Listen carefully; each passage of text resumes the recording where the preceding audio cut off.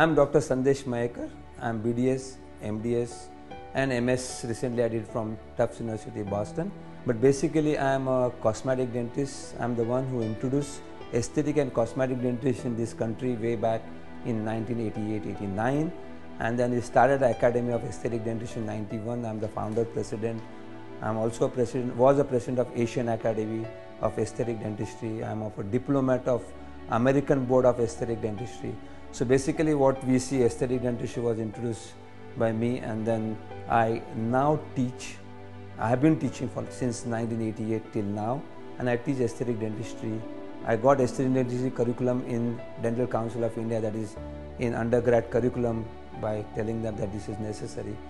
And uh, well, I also uh, visiting professor to New Jersey Dental School uh, where I also talk about new aspect and recently I did masters in TMD orofacial pain that is a new thing which is beyond aesthetic dentistry called craniofacial aesthetics where headache, neck pain, shoulder pain is due to jaw problem.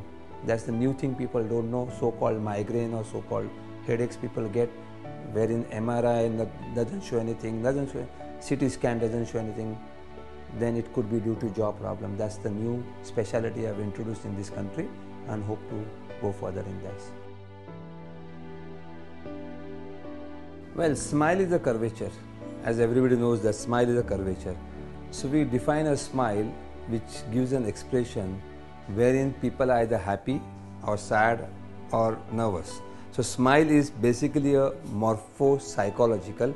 It's not only depending on the how the teeth are, but depending on the mindset also. But usually we say smile means happy.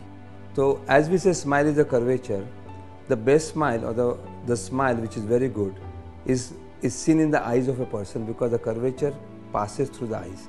So if somebody is confident about their smile, that smile is good according to me.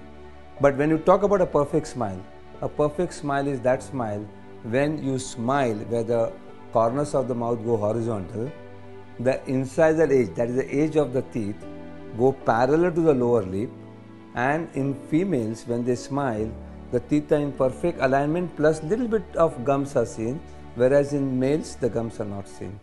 And the midline of the face should pass with the midline of the, uh, especially the midline of the lip should pass with the center of the teeth.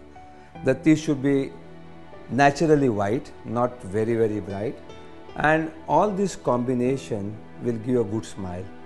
One of the most important aspect is the alignment of teeth and the alignment of the gums and when the patient smile, how much teeth, how much gum are seen. So that's very important as far as smile is concerned.